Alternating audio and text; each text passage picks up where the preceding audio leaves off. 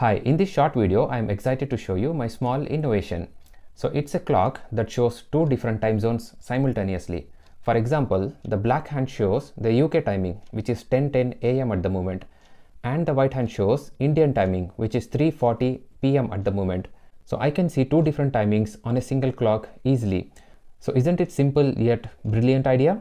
I achieved this simply by creating two additional clock hands using card and fixing them at the correct angles to display both UK time and Indian time.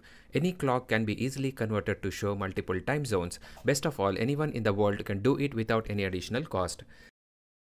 Here is the legend. The black hand shows UK time as the primary time, while the white hand shows Indian time as the secondary time. This idea would be extremely useful for the people living abroad as it eliminates the need to calculate the time difference with their home country every time and they don't need to buy another clock for it. Normally you might have seen multiple clock like this in many places but I wanted to try something different and eventually came up with this idea. What do you think about this innovation? Don't forget to let me know your thoughts in the comments.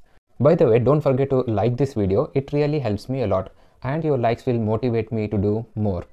Visit my YouTube channel for more mind-blowing ideas and subscribe to stay in touch.